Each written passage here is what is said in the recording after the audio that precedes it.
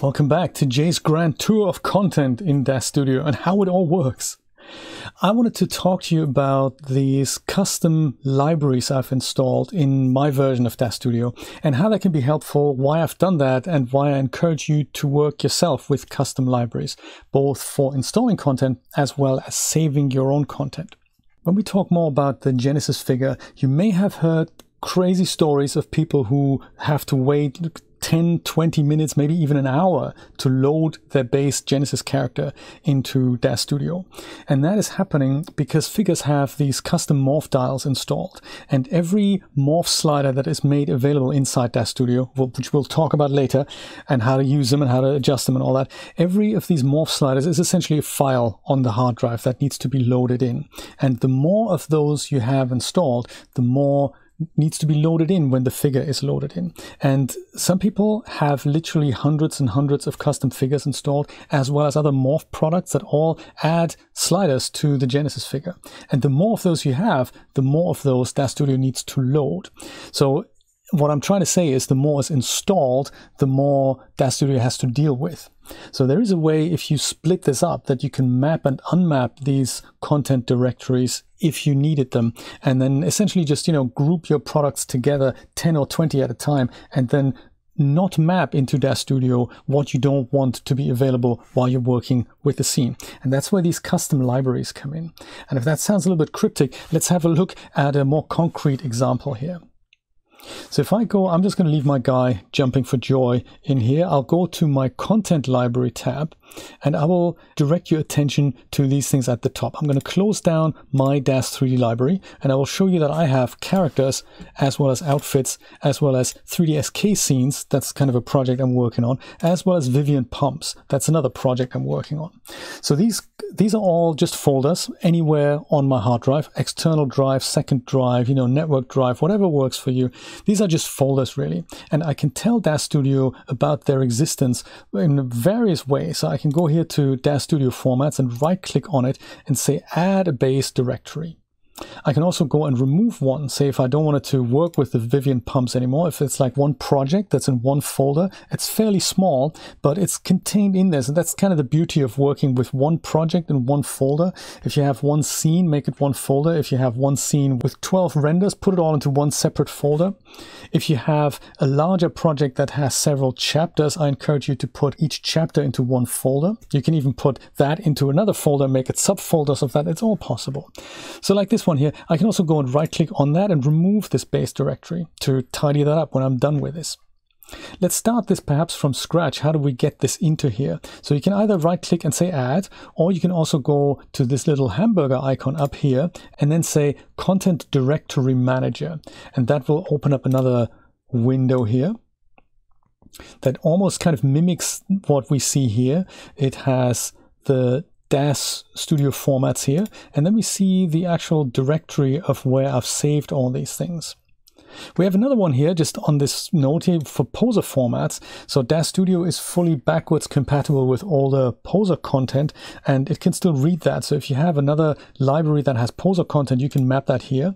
You can also map the same library if you know it contains both DAZ as well as poser content. But with these days, we're not really focused on poser backward compatibility anymore. So I'm going to go and close this down and just focus on the DAZ Studio formats here.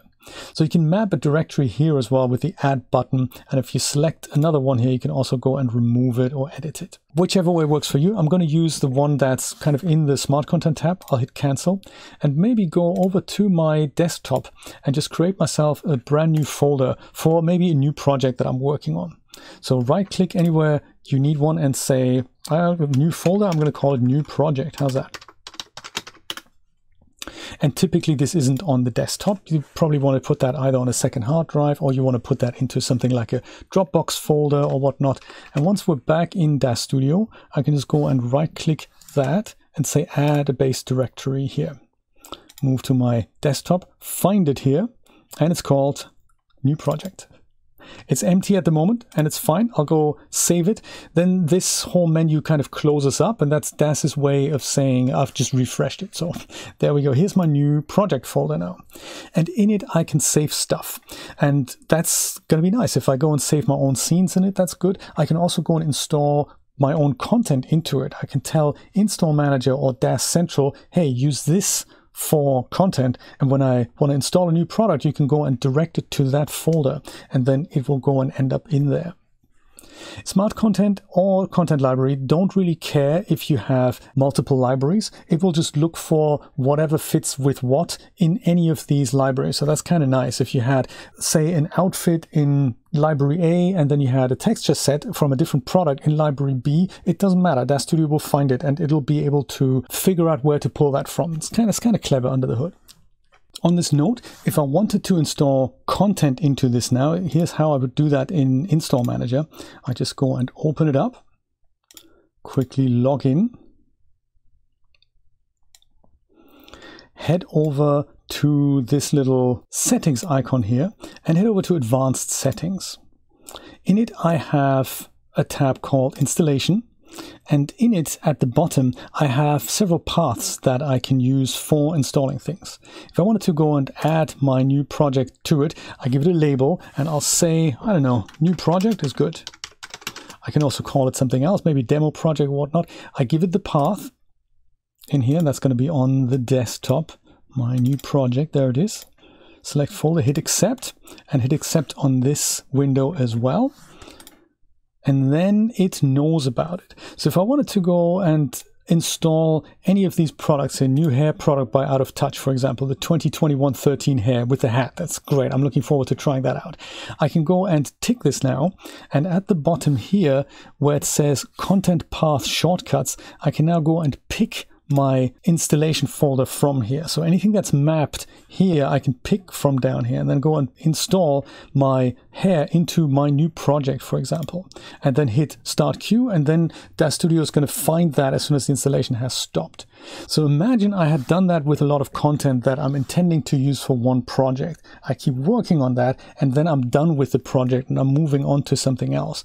I can then go and leave the content installed, but then I can go and unmap this folder from DAZ Studio. And by doing so, DAZ Studio will no longer see that content. Therefore, it doesn't have to load anything that might increase your loading times on your system. So you can still have a lot of content installed on your system, but you tell DAZ Studio not to load it in every time anymore because you're done with it. So the install manager makes it really easy to uninstall content as well. But if you want to leave it installed and just unmap it for the time being, you just go and right click on your project and say remove base directory. And DAZ Studio doesn't mind about this. It just goes and says, okay, fine, that's content directory is no longer available. So any content that is referenced in that will generate an error message. But also the good thing is figure loading times are going to be sped up by that. So many of us spread our content around multiple libraries, either by project or by topic. Something like, you know, I've started doing this with characters here. These are where custom characters go. This is where outfits go. And then I have it on a per project basis. And that's a really nice workflow that, that works for me and many other people. Let me go and bring this back at base directory. just get a bit of um, practice here. On the desktop, there is the new project. And currently we don't have anything installed here, but DAZ Studio now knows about it and I can go ahead and save scenes in that. That is the next thing we're going to have a look at. If we were really attached to a man that is now jumping for joy, how do we save him and what are our options of saving this as a scene as well as other types of formats so that we can reuse this with our other scenes? Stay tuned for that.